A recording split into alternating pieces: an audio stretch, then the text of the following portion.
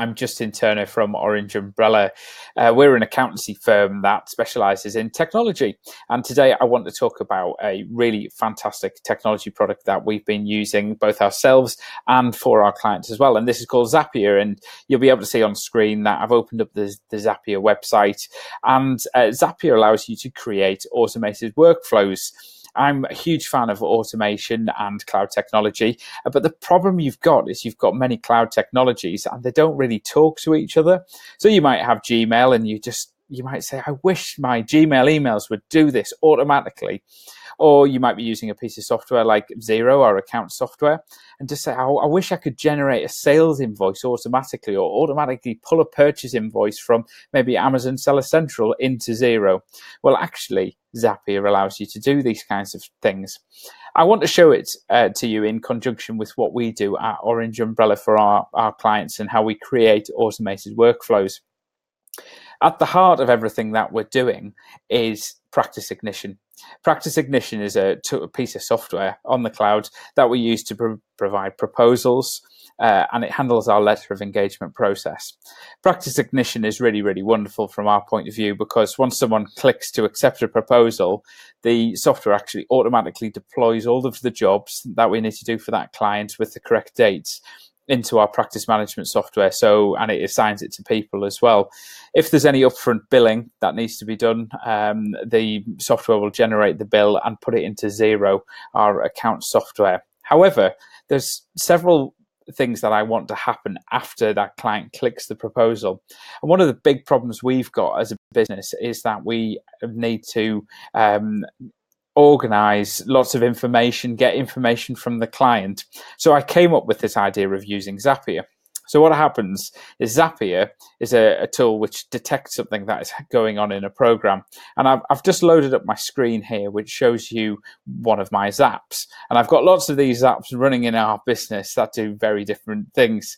But here is an example, is that when a client clicks uh, to accept a proposal from us. And this particular Zap is what's um, called our new client Zap. So only affects for new clients. I've got uh, a filter in here. So this filter will allow me to only detect new clients. So I've got criteria in there, which basically says if, if this isn't a new client, then don't do anything. I've got uh, these various actions here which strip out the first name and the surname because uh, Practice Ignition provides it in one um, large field. So I have to separate out that in order for my zap to work. I've got a delay in here, which I've got that in because I've got concurrent zaps running. So I need a little delay to make sure that I don't get a, a clash between my zaps. Uh, I've also got this here, which is uh, send a channel message into Slack, and I want to quickly show you that as well. So when we get a new client, one of the big problems we we face, or we were having anyway, is um, uh, this new client would pick up the phone, and let's say my colleague Nicola or Adam pick up picked up the phone, and they'd be saying, "Oh, hello, Mister Bloggs, uh, who are you?" Um, where we've actually been instructed maybe a couple of days before.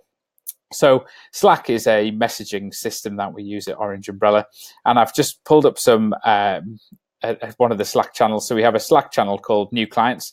There's five of us in the team involved in this, and Zapier automatically sends some information uh, through, basically saying, "Well done, everyone. Uh, we've won a new client," uh, and I've obviously just got some test data in here. But it makes the team ent- uh, completely aware of what's going on. The team can go and view that client's proposal, uh, and also it's in, telling them to go and look at the practice manager account to see if there's any new jobs for them to look at. Also for a proposal renewal, it's very, very similar. But again, it's showing the link to the proposal and asking them to look for any new jobs that they might have.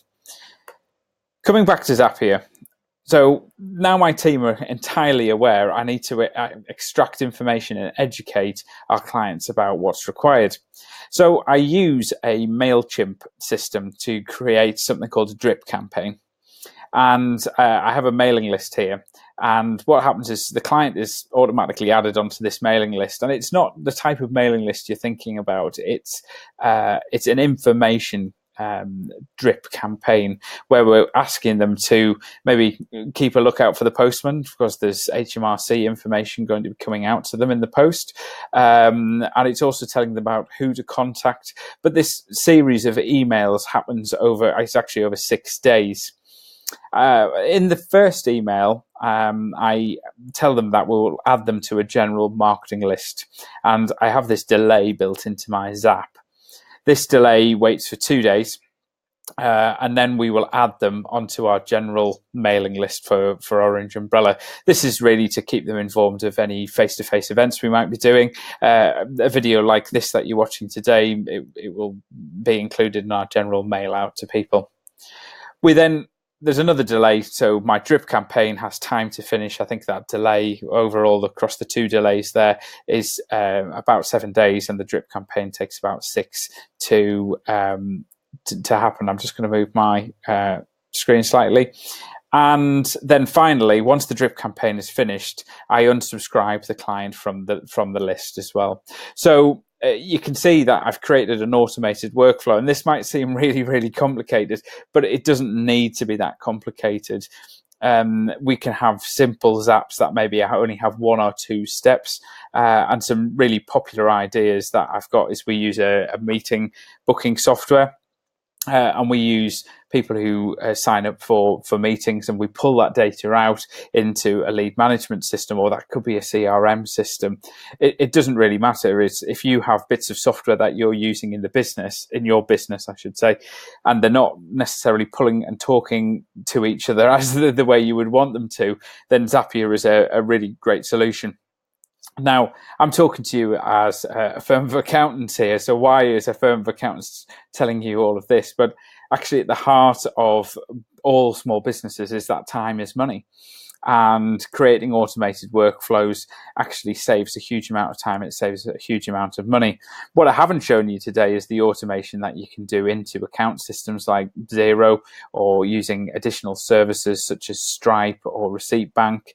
These, these all these common uh, accountancy packages and bits of software that you might be using in your business, and you just need to stitch it all together to, to make a more functioning uh, business model. This is going to help you do that. So, I mean, if you've got any questions, please um, drop us a message. You can find us at orangeumbrella.co.uk. Uh, we have a, a, book an appointment link over here. Uh, so you're welcome to book a, a telephone appointment uh, or even a face-to-face appointment if you're you're local to the area and we'll get back to you. We we obviously do video recordings and uh, screen shares if you, you need any help outside of our, our local area. So hopefully I'll speak to you soon and thanks very much for watching today. Cheers. Bye bye.